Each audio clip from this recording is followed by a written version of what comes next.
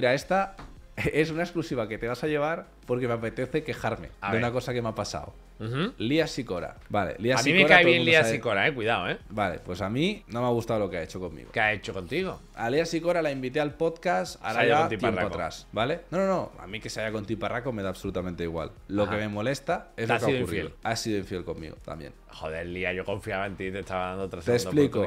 Lía, Lía Sicora, cuando sale la polémica y todo esto, yo digo, hostia, pues sería interesante poder traerla, que explique lo que ha ocurrido, etcétera. Me Llega un momento en el que sube por un evento de Red Bull a Andorra, ¿vale? Y sube con gente con la que yo me llevo. Contacto a esa gente con la que yo me llevo y les digo, hey, ¿será que le podéis decir a Lía que, que quiero grabar con ella? Aprovecho que está en Andorra y grabamos en mi estudio. Bueno, es que claro, tenemos todo pagado para volver. Ningún problema. Yo le pago las noches extra de hotel, la comida, le llevo al restaurante de Messi, lo que quiera. Va a comer como no comió en esa fiesta. Se lo va a pasar increíble. Cabrón. Digo, eh, a la pullita se la ha llevado. Eh, y digo, pero le hago el podcast y sin ningún problema. Eh, me, me gostean.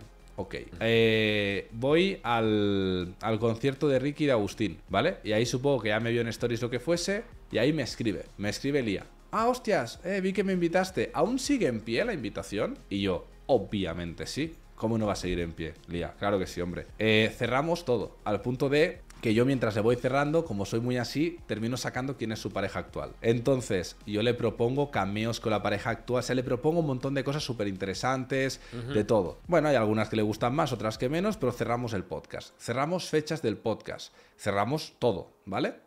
Y cuando ya tengo todo cerrado y lo estoy comunicando al equipo y digo, hey, mira chicos, he conseguido cerrar esto, me dice, bueno, ¿y tema caché? ¿Cómo lo gestionamos? Lía Sicora. Lía Sicora. Y le digo, ¿caché? ¿Cómo que caché? ¿No? ¿Que cuánto me pagas? Y le digo, hombre, el caché es que vienes a mi podcast que tiene medio millón de seguidores y te voy a dar un montón de visitas. Ese es el caché. Ese, o sea, el caché es mi podcast. O sea, te tendría Claro, que cobrar. pero dado no fama estoy- como de que pagas. Es que yo no he pagado. Claro, pero O sea, eso, eso se fuman porros. Vale, pues te has fumado un porro. Y en todo caso, si tú me quieres cobrar, lo que haces es, me lo dices al inicio para que ya te rechace automáticamente. ¿Sabes? Lo que no vale es, me vienes ahí, caché. Le digo, yo caché no pago. O sea, el caché soy yo y el podcast que hacemos, ¿vale? Me dice, bueno, pero al menos dame una parte del- de lo que genera el vídeo. Y le digo, sí, sí, el vídeo genera pérdidas. Yo me gasto en episodio un promedio de 4.000 euros. Tu episodio no creo que de 4.000 euros. Tiene que superar el millón y pico de visitas para que yo el podcast le salga, me salga rentable ese episodio, ¿vale?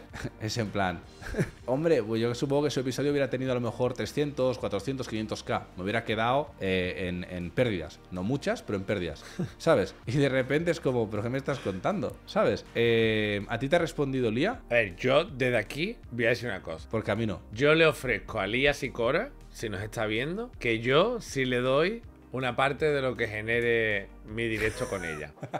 Lía sí cobra. Lía, vente aquí. Lía sí cobra. Entonces, a mí me hizo, me, me hizo especial rabia, tío, que yo le mandé, le mandé un audio luego le dije, a ver, de buen rollo, no te pago a ti porque no le pago a nadie. Y por otro lado, creo que te va a venir muy bien. Mi objetivo era que ella, pues obviamente, aceptara públicamente que había sido infiel, aunque ya en los CC Awards indirectamente lo había aceptado. Simplemente que contara lo que, bueno, cómo lo vivió ella, etcétera.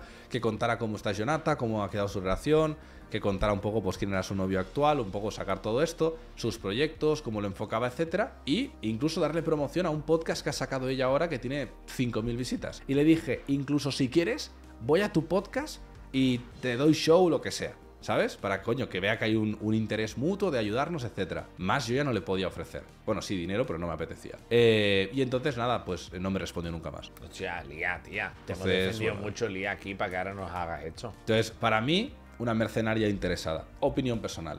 Porque después de lo que ha hecho me ha parecido muy feo. Pero bueno, decepción. Hasta feillo, ¿eh, Entonces- Lía?